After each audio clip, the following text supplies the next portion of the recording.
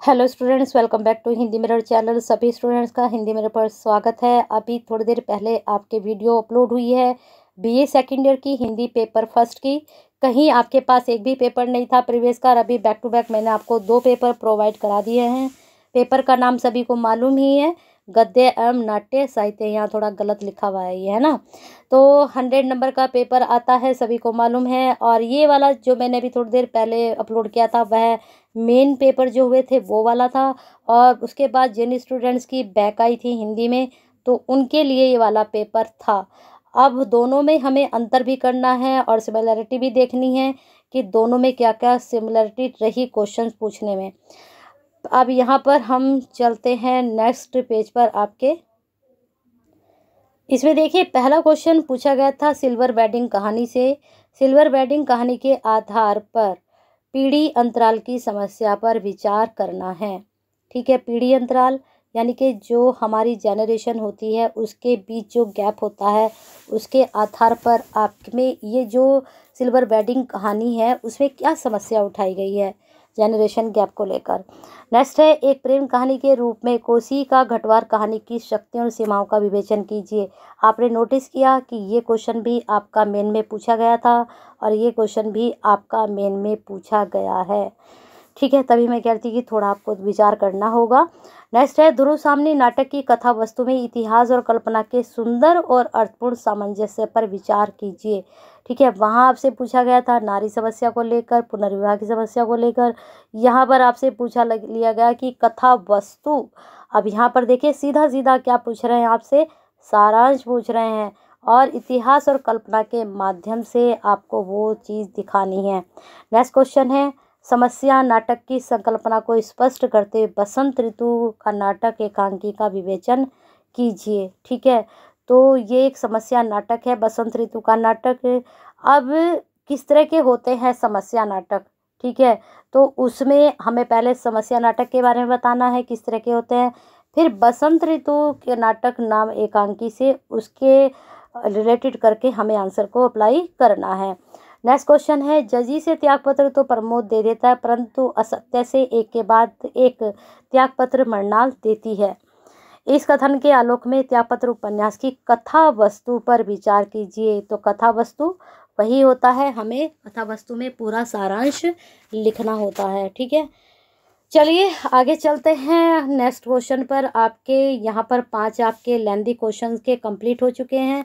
आगे चलिए देख लेते हैं। शॉर्ट क्वेश्चन में किस तरह के क्वेश्चन आपसे पूछे गए? पाँच नंबर का होता है, आठ क्वेश्चन होते हैं। अब देखिए, ये प्रश्न आपका आ चुका है।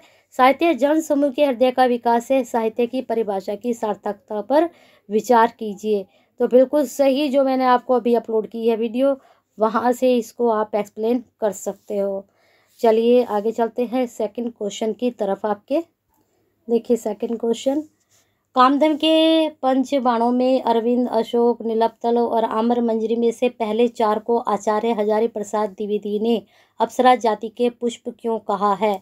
अगर आप ये निबंध पढ़ लिया होगा आपने तो आपने देखा होगा स्टार्टिंग में ही ये लाइनें आती हैं।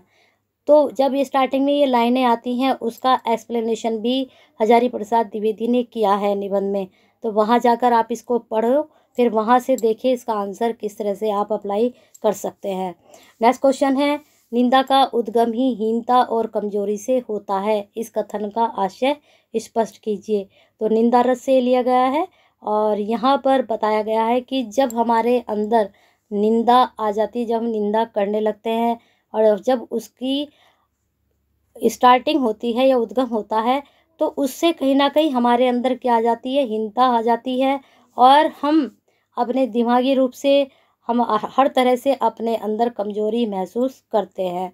तो इसको आप देखिए, लाइन दी गई है। आप पढ़ोगे तभी मैं कहती हूँ कि सारा कुछ एक बार सारांश तो ज़रूर पढ़िए, उससे क्या होगा कल ये देखती हूँ, ये वाला आंसर मैं आपको करा देती हूँ। आंसर नहीं कराऊँगी, मैं निंदा रस आपको कराऊँगी। वहाँ से आपको पता चलेगा कि इस तरह के क्वेश्चंस को किस तरह से हमें अप्लाई करना है। सुखी डाली, एकांके में वट वृक्ष किस पात्र का प्रतीक है और क्यों? कारण सही समझाइए। अब पूरा जो एकांकी है, इसी पर आधारित है। सूखी डाली, क्या बताया गया है कि जब एक वृक्ष होता है, चाहे वो वट वृक्ष हो, चाहे हमारा जो परिवार होता है, एक वट वृक्ष की तरह होता है। बड़ा परिवार, संयुक्त परिवार जो होता है, एक वट वृक्ष की तरह होता है। जैसे एक बड़ा वृक्ष होता है वट वृक्ष, इसी प्रकार से परिवार भी होता है। अगर उसकी एक डाली को हम अलग कर देते हैं, तोड़ देते हैं तो वह पेड़ से अलग होने पर क्या होता है? सूख जाती है।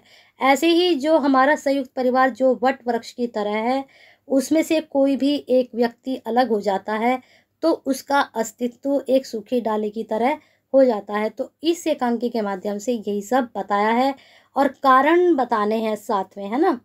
चलिए आगे चलते हैं। अब घर का फालतू सामान अलमारियों के पीछे और पलंग के नीचे छुपाना, छुपाया जाने लगा, तभी सामनाथ के सामने सहसा अड़चन खड़ी हो गई। माँ का क्या होगा? इस वाक्य के आलोक में चीप की दावत कहानी की केंद्रीय विषय वस्तु को स्पष्ट कीजिए। अब देखिए, प्रश्न रिपीट हो चुका है, लेकिन वहाँ पर किसी और तरीके से पूछा गया। कि जो वृद्धावस्था होती है, उसकी समस्या को आप बताइए। अब यहाँ पर भी विषय वस्तु वही है ना, वृद्धावस्था, कि उनको किस तरह से हम हैंडल करें। तो वही चीज़ यहाँ पर पूछी गई है। आप क्या करते हैं? आप घूम जाते हैं प्रश्न को देखते ही। अब इतने इतने बड़े बड़े प्रश्न यहाँ पर पूछे गए हैं तो आप सोचोगे, क्या पूछ रखा है ये प्रश्न? कितने खतरनाक है? लेकिन नहीं, ये बहुत इजी है, बस थोड़ा सा आपको समझने की और ध्यान देने की ज़रूरत है।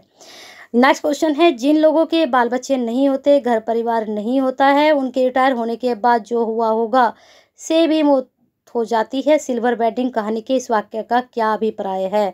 अब सिल्वर वेडिंग में से ही आपसे दो क्वेश्चन यहाँ पर पूछ लिए गए तो अच्छे से इसको पढ़ लीजिएगा। पूछ की रात में से भी ज़रूर क्वेश्चन पूछा जाएगा सिल्वर वेडिंग में से भी पूछा जाएगा चिप की दावत में से भी पूछा जाएगा। तीन चार कहानी ऐसी हैं जहाँ से क्वेश्चन रिपीट होते हैं। पूछ की रात कहानी में हल्कू की कथा, आम भारतीय किसान की ही व्यथा कथा है। इस बात को तर्क और उदाहरण देकर समझाइए। अब जैसे हल्कू की अपनी ज़मीन थी, लेकिन वह किसान था, लेकिन अपनी ही ज़मीन पर वह मज़दूर बनकर रह जाता है। तो ऐसी ही कई किसान ऐसे हैं, जिनकी व्यथा कथा प्रेमचंद जी ने भी लिखी है और पूछ की रात के साथ साथ उन्होंने और जगह भी वो बातें लिखी हैं। तो आप वहाँ से भी वो उठा सकते हो और तर्क और उदाहरण उनके दे सकते हो। पढ़ना बहुत ज़रूरी है एग्ज़ाम टाइम पर ही आप पढ़ते हैं, उससे क्या होता है, फिर आप गड़बड़ा जाते हैं। अब देखिए एट क्वेश्चन रामगुप्त के किन दुर्गुणों के कारण ध्रुव सामने उससे विवाह विच्छेद करने का निर्णय लेती है, स्पष्ट कीजिए। अब देखिए, यहाँ भी विवाह विच्छेद ही पूछा गया है। तो आंसर वैसे ही अप्लाई करना, जैसे वहाँ किया, ऐसे यहाँ पर करना है। एक ही चीज़ पूछी जा रही है बार बार वही चीज़ें रिपीट हो रही हैं। थोड़ा सा बारीकी से देखने की ज़रूरत है। अब आते हैं ऑब्जेक्टिव टाइप। आपके जो बैक पेपर हुआ था, वहाँ पर भी आपके ऑब्जेक्टिव टाइप जो पूछे गए थे, वो भी वन लाइनर ही पूछे गए थे।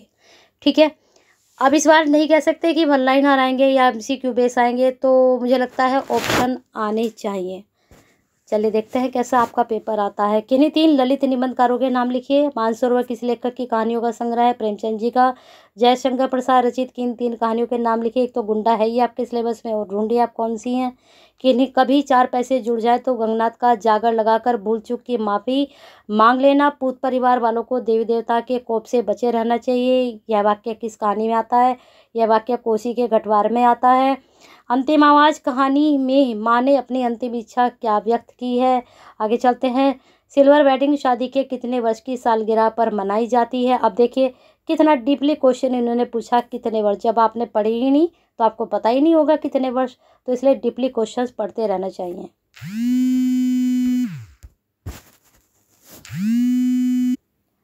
चलिए, नेक्स्ट क्वेश्चन देख लेते हैं। पूछ की रात कहानी में हल्कू के कुत्ते का क्या नाम होता है? चौखरी कस्बे में गोली कांड के समाचार पत्रों के माध्यम से खबर के साथ ही कौन सी एक अन्य खबरें लोगों तक उस दिन पहुँची थी? नेक्स्ट क्वेश्चन राम कुमार वर्मा द्वारा लिखे गए किन्हीं तीन एकांकियों के नाम बताइए? एक तो आपके सिलेबस में वो वाला लिख सकते हैं आप। किन्हीं तीन असंगत नाटककारों के नाम लिखिए? एक आपके सिलेबस में ही है असंगत नाटककार।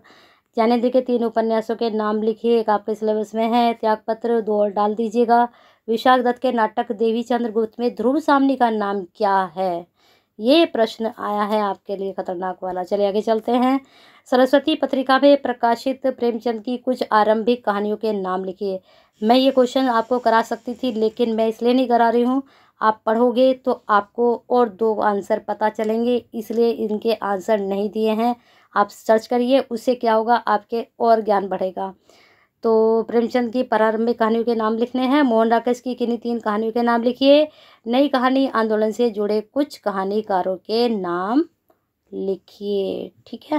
पंद्रह क्वेश्चन अब तक पहुँच चुके हैं और सारा पेपर दोनों। और अब तैयारी कर लीजिए अच्छी से। क्वेश्चन बैंक भी पहुँच चुका है। प्रीवियस क्वेश्चन पेपर भी पहुँच चुके हैं। प्रश्न घूम फिर कर आ रहे हैं। घूम फिर का मतलब घुमा कर आपसे पूछे जाएँगे टॉपिक वही हैं जो तैयार कराए गए हैं। तो अच्छे से ध्यान दीजिए। चीज़ों को पकड़ने की कोशिश कीजिए और लाइक तो कर ही दीजिए और शेयर कर दीजिए फटाफट और कमेंट बॉक्स में कमेंट कर दीजिए। वीडियो कैसी लगी आपको?